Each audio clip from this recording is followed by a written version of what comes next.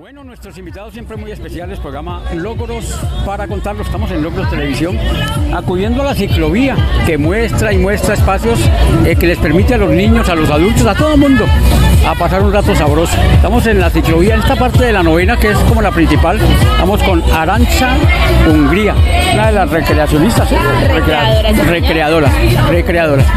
Eh, porque hay temáticas nuevas con los niños que se divierten a través de, de los juegos, de la cultura, del deporte y eso es importante y por eso lo recibimos en nuestro programa.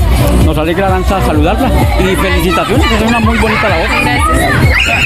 Sí, señora, es verdad, estamos en la temática de Ecoexploradores de mi Cali Bella. Hoy se les está entregando una cartilla creada por la ciclovía, creada por todo nuestro equipo, en el cual cada niño va a ir como trazando la ruta que hace para llegar a la ciclovía. Cada que yo me cepillo los dientes, me baño, como, obvio un alimento saludable, entonces la idea es que ellos vayan marcando y al final se les otorga un certificado de Ecoexploradores de mi Cali Bella. También tenemos la temática de la COP16, un evento súper importante para nuestra ciudad. Casi Nos parece importante que los niños vayan sensibilizando y aprendiendo sobre la misma. ¿Qué tanto les enseñan a través de estos juegos a los niños? Ah, eh, hablando del SECO 16 que ya va a llegar para acá.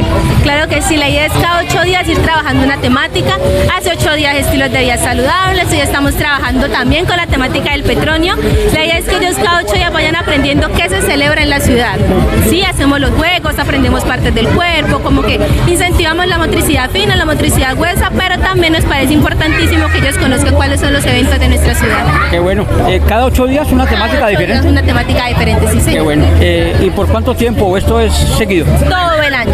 Empezamos en enero y terminamos en diciembre. ¿Y estos niños eh, copian para utilizar una palabra que es la que utilizan Una ustedes? jerga, claro que sí. Hay niños que vienen cada ocho días y nos dicen, profe, ¿qué vamos a hacer hoy? Ay, recuerde porque al final de cada día les decimos, dentro de ocho días está. Entonces vienen, ay, profe, recuerde que hoy estamos hablando del petróleo. Personalizados, traen amiguitos y son fieles a la ciclovía. Por ahí derecho involucran a los papás, porque yo veo papás que también están pintando la cartillita y se involucran con los niños. Eh, ese es el bebé, el niño, la niña que le gustó hoy la ciclovida y hace que lo traigan dentro de ocho días.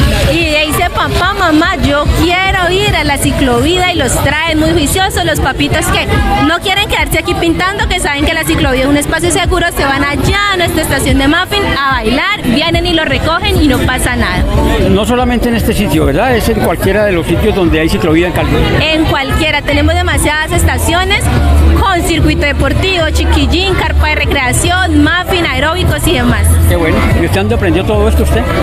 Yo soy profesional en recreación de la Universidad del Valle, estoy en octavo semestre. Ah, qué bueno. O sea que de pronto hasta estudió con mi hijo Sebastián Tavares. De pronto. Ah, Porque, porque más o menos estaban en eso en esos eh, semestres. Pues su invitación, Aranza, para que los niños vengan cada ocho días a disfrutar. Claro que sí, yo invito a todas las familias caleñas, no solo a los que ya vienen, sino a los que todavía no nos conocen, que vengan a la estación de Panamericana si les queda cerca o si no, estamos por toda la ciudad, cada domingo abrimos a las 9 de la mañana hasta las 12 del mediodía y les aseguro que no se van a arrepentir, en ciclovía nos divertimos cada ocho días. Qué bueno, ahí está la invitación. Es un parchecito sabroso para que ellos le dicen parche a esto. Una reunión familiar donde se integra todo el mundo, hasta mascotas veo acá. Y estas noticias tan positivas las entregamos siempre en nuestro programa Logros para contar.